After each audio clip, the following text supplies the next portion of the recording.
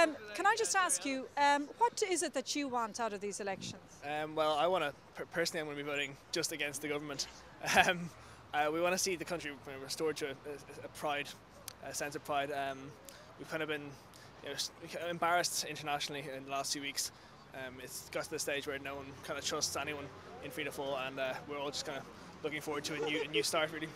Who would you like to see as the new leader of the next government? Well, uh, Eamon Gilmore is a local TD of mine, so I'm going to be certainly supporting him. What do you think of the idea of Enda Kenny as a leader?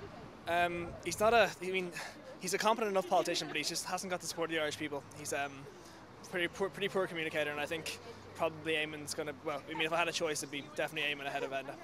Are you angry about what has happened in this country over the last 12 months? I think we've all gone beyond the stage of being angry. Um, I think we're just fed up now at this stage, and I think, I think Fianna Fáil will be pretty much wiped out in the polls, and that'll show.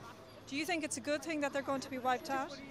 Um, I think probably is, yeah, for now. Um, we're not going to see a lot of the Greens either.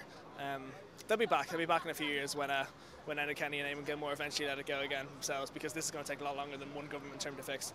They'll be back, but they're, they're going to be pretty much gone in this election, I think.